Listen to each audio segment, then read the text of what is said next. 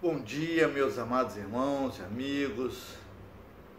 É um prazer muito grande estar mais uma vez aqui diante dos irmãos esse domingo para falar sobre é, as promessas de Deus e descrever um pouco sobre as profecias que foram profetizadas pelo por Isaías Deus possa nos ajudar a compreender e a ministrar todas essas palavras. Hoje nós vamos falar então sobre a soberania do reino de Deus. Dando sequência né, aos estudos nas profecias de Isaías, hoje vamos dar então a dimensão da soberania do reino de Deus. A maneira poderosa que Deus se revela né, pelos profetas. Vamos orar? Bendito e amado Deus, muito obrigado, Senhor, por mais essa manhã, Senhor, na tua presença, pelas bênçãos recebidas do Senhor, quer materiais, quer espirituais. Deus amado, nós dependemos única e exclusivamente do Senhor. As nossas forças, são dirigidas pelo Senhor. Nosso conhecimento é dado pelo Senhor. Tudo que somos, tudo que temos, assim o é, porque o Senhor permite e o Senhor realiza em nossas vidas.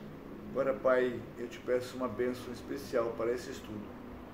Me capacita, me instrui, me ajuda a dar compreensão as palavras lidas e que possamos ministrar segundo a tua vontade.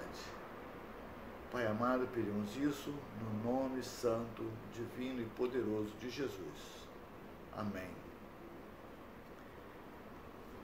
É, nós podemos ver que Isaías estava vivendo um período de grandes mudanças e isso exigia grandes desafios. Após as profecias do oitavo século, é, o mundo não seria o mesmo para o povo judeu, para o povo hebreu. Tanto Isaías como Amós, Oséias. Então, é, eles proferiram nessa época profecias que iriam mudar a história do povo hebreu. Profetas Amós e, e, e Oséias, eles testemunharam e experimentaram a ascensão do Império Assírio e todas as suas conquistas, inclusive as do próprio reino de Israel.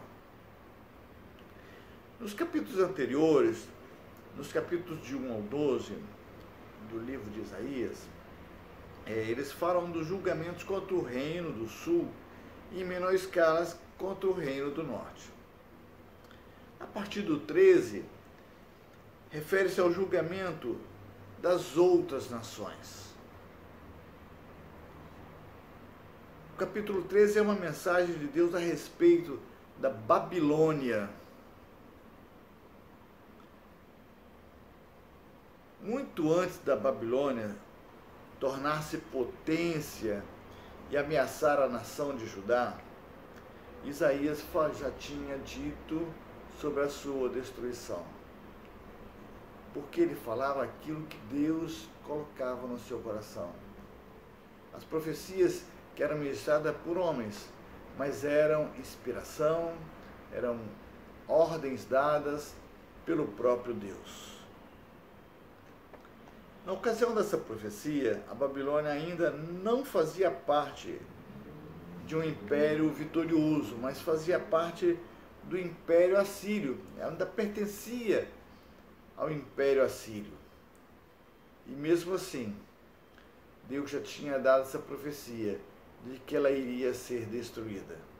Mesmo antes que ela florescesse, Deus já tinha dito que ela seria destruída.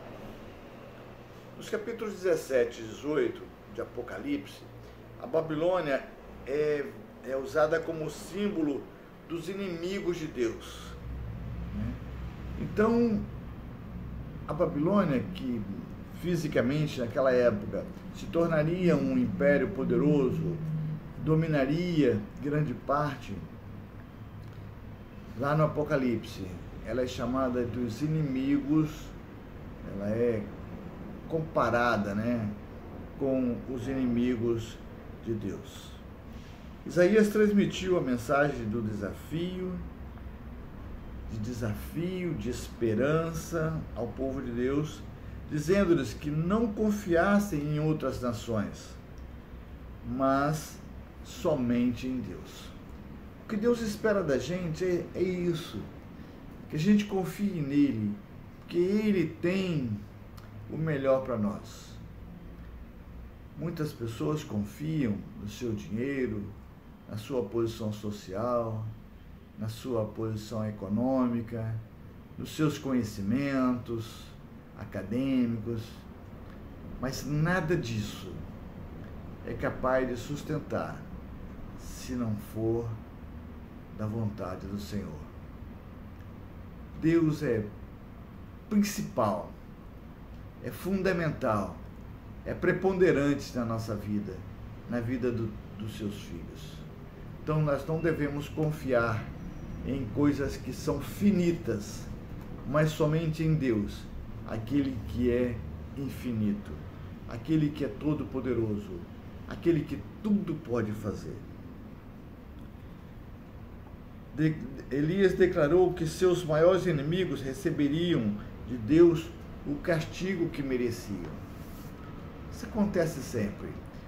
A ira não pertence a nós a revolta não pertence a nós, mas pertence a Deus.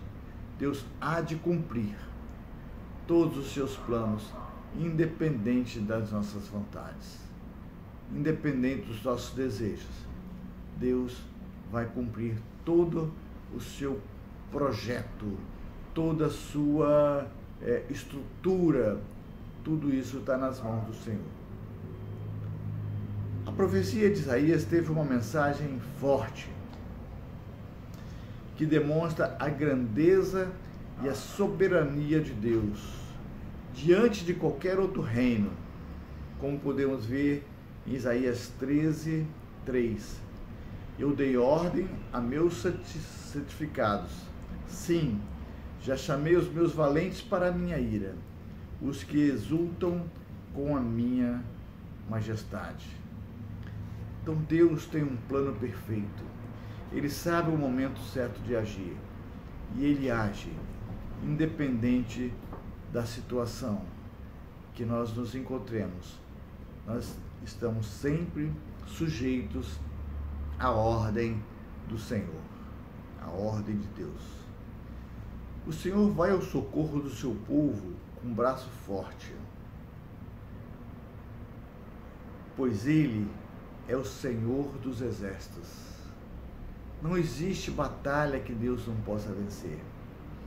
Quando a nós parece difícil, parece impossível, Deus entra com a providência, porque Ele é o Senhor dos exércitos.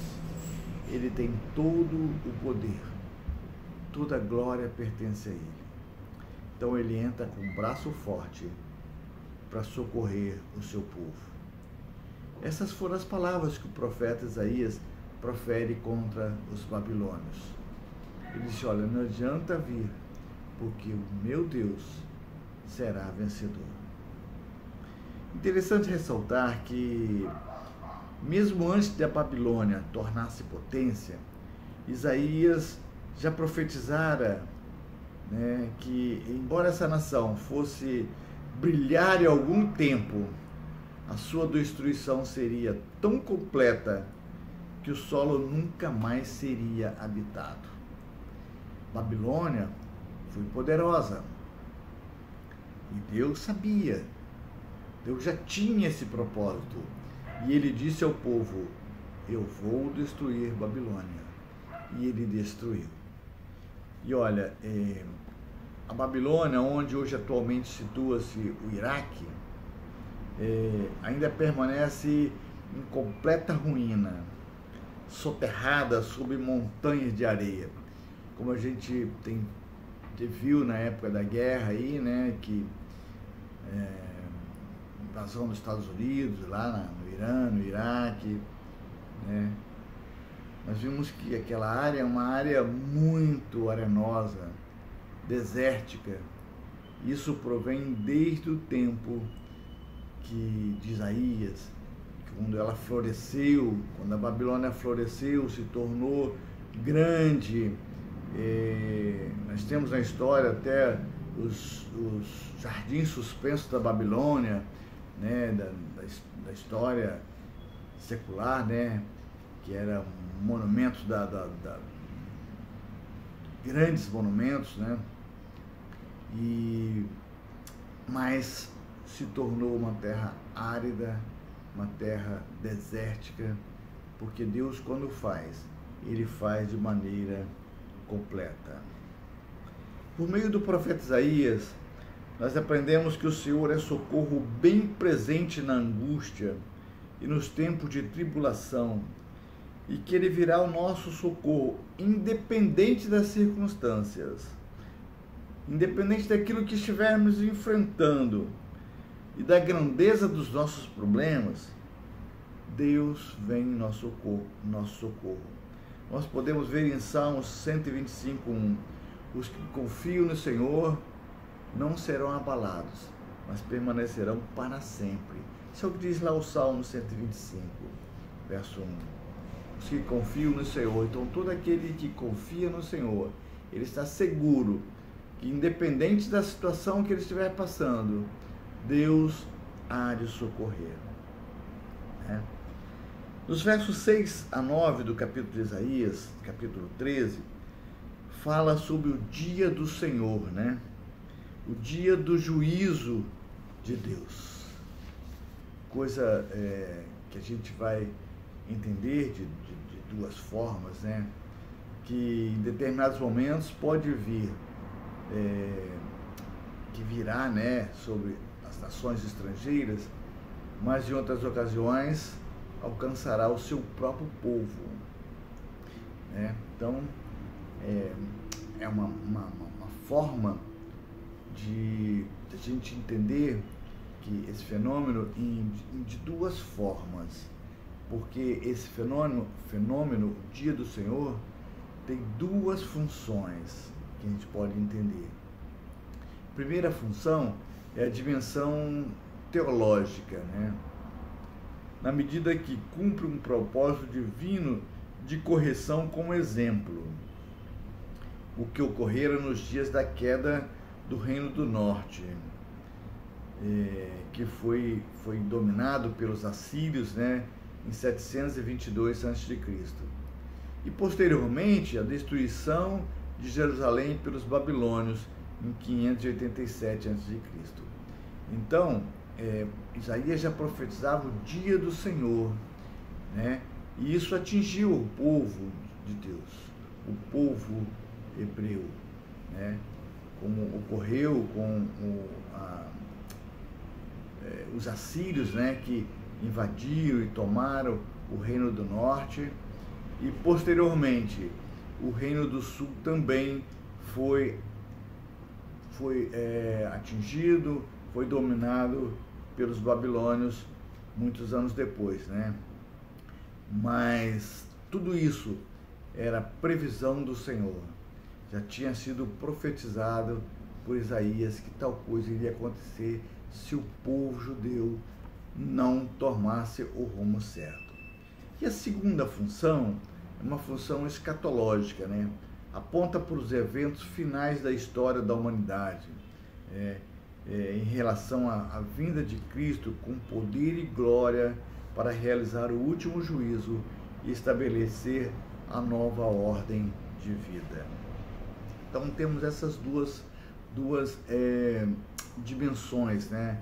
Essas duas funções do, do, chamada do reino de Deus. Né? O já e o ainda não, como diz o escritor da nossa revista. O já é aquela que já aconteceu, que foi aquela profecia de Isaías que atingiu o reino do norte inicialmente e posteriormente o reino do sul, porque eles não estavam caminhando no caminho certo do Senhor. Então foi uma maneira de corrigir, né? de, é, de exaltar a presença de Deus e a, a necessidade de estar é, cultuando somente a Deus, não se desviando para deuses estranhos, como eles fizeram. E a segunda é escatológica, né, que é nos, nos dias finais, né, que é a, em relação à segunda vinda de Cristo, que ele virá com poder e glória para julgar, porque ele é o único juiz que pode fazer isso. A função teológica se apresenta no tempo do profeta, como eu falei. Em alguma medida se repete todas as vezes que o Senhor executa a sua justiça em forma de juízo. Então nós é, podemos ver que não somente naquela época, mas Deus às vezes ele não é que ele pune, ele é, exorta, ele faz coisas que, que a gente possa entender que só a ele devemos dar glória e honra. Esse é o já do dia do Senhor que o escritor falou. Por sua vez, a função escatológica ocorrerá de maneira única, como forma de consumação final da história é o ainda não do dia do Senhor. Como ele classificou o já e o ainda não, o já é aquilo que já aconteceu e o ainda não ainda está por vir. É certo que virá, mas ainda não veio. Né?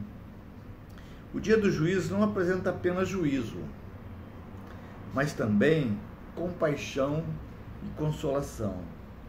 O verso 1 do capítulo 14 nos mostra essa evidência. O Senhor terá compaixão de Jacó, voltará a escolher Israel e o restabelecerá na sua própria terra. Então, é, a previsão é essa, a profecia de Isaías é essa, que eles seriam é, dominados, mas que o Senhor teria compaixão, teria amor por eles, né? teria é, uma, uma coisa melhor para eles, se eles voltassem para o Senhor. E foi o que aconteceu. Né? E agora, a dimensão do já e ainda não também é evidenciada no agir, no agir de Deus em relação ao seu povo. Louvado seja o nome do Senhor, que não muda e continua agindo para nos ajudar. Coisa maravilhosa, né? Em qualquer situação que buscarmos, não importa qual seja, tudo parece difícil, quando tudo parece difícil, quando parece impossível, o poder do Senhor age em ação e tudo se torna possível, porque Ele, como eu falei, é o Deus dos exércitos. Ele tudo pode, tudo está na sua direção, tudo, tudo sob a sua é, orientação, está tudo sob o seu poder e ele age da maneira que lhe aprouver, da maneira que é melhor para exortar os seus filhos. Que o dia do Senhor seja para nós como, como profecias de compaixão e consolação. Possamos vivê-lo em alguma medida, sabendo que o já de Deus nos alcançou na pessoa de Jesus Cristo. Nós que já fomos é, redimidos, já fomos lavados e remidos do sangue de Jesus, nós já alcançamos o, o já. Estamos aguardando o ainda não, que já estaremos na glória, com certeza, porque nós não sabemos o dia que ele virá. Pode ser hoje ou amanhã, mas ainda tem muita coisa para acontecer. Né? E então nós podemos ver o seguinte, que esse tema, né? Um tema notável de Isaías é que os não israelitas né, se juntariam aos israelitas que retornariam. Então, nós podemos conferir isso em Isaías 56, 56, verso 6, no capítulo 60, verso 10, no 61, verso 5. A intenção de Deus era que, pela fidelidade do seu povo, o mundo inteiro fosse alcançado, inclusive a nossa geração, inclusive nós. Essa visão passou a constituir um grande, uma grande moldura teológica que aponta para o advento do Messias como um marco de um momento no processo de revelação do Senhor, né? em que o conhecimento universal de Deus e a paz universal são evidências do reinado universal de Deus. Isso já tinha sido é, falado já por, por, por Amós, Oséias, próprio Isaías, Miquéias, né? que anunciaram né, o castigo de, de Deus para Israel e Judá, mas que eles receberiam de volta o seu povo. E esse povo que não seriam somente os, os israelitas, mas seriam os estrangeiros, né? os não israelitas, se juntariam a eles e formariam um só povo. Que depois, já que veio Cristo e que Paulo pregou e que os, os discípulos pregaram e, e levaram né, a palavra de Deus para todos os recantos e até nós que fomos alcançados. Esse é o povo remido e que foi é, lavado pelo sangue de Jesus. Né? Então, é, Amós exortou os ouvintes: buscai o Senhor e vivei. Lá em Amós 5, 6. Oséias disse: Volta, ó Israel, para o Senhor teu Deus. Em Oséias 14, 1. Isaías e Miqueias falaram muitas vezes sobre o remanescente de Israel que seria, seria salvo, né? Podemos ver vários textos de Isaías, né? Como Isaías 4, 3, 7, 3, 10, 20, 11, 11, 38, 5, Miqueias, é, capítulo 2, verso 12, enfim, e essa visão passou a construir uma grande, uma grande moldura teológica, como eu falei, para que a gente possa entender que o, o, o reino de Deus ele não estava restrito somente aos israelitas, ao povo judeu, mas a todo mundo, inclusive nós que somos povo de Deus, né? E a paz universal são evidências desse reinado de Deus, né? E aí, para concluir, eu queria é, dizer o seguinte, que concluir. Desse reino não haverá depois que Cristo voltar e o grande dia do Senhor, que esse, esse reino não será um reino terreno, né? Não haverá mais dor, não haverá mais lágrimas, e toda a revelação de Deus será plena e infalível, onde todos nós teremos a vida eterna, que é a prometida para aqueles que esperam por esse grande dia. Eu agradeço pela compreensão do, do, da, da palavra, agradeço porque para estudar a gente aprende mais, que os irmãos e ouvintes, né, possam ter é, entendido qual é o plano de Deus, que nós devemos estar sempre buscando é, os planos dele, buscando estar sempre na presença dele e fazendo aquilo que a palavra de Deus nos diz. O povo judeu, né, o povo é, de Israel e Judá, né, que desviaram e eles foram é, exortados, né? permaneceram grandes, an grandes anos cativos, mas Deus tinha a promessa que eles retornariam. E não somente aquele povo, mas que os não-judeus, os não-israelitas, também se juntariam a eles e seria um povo é, grande que somos nós. Seríamos alcançados pela palavra de Deus através de Jesus Cristo. Então, nós possamos é, estar sempre convictos que a vontade de Deus é sempre a melhor para nós. Independente daquilo que estivermos passando, Deus tem o melhor para nós. Que nós possamos ter um, um um domingo abençoado, uma vida abençoada, nós possamos nos lembrar que estamos sempre sob o domínio do Senhor.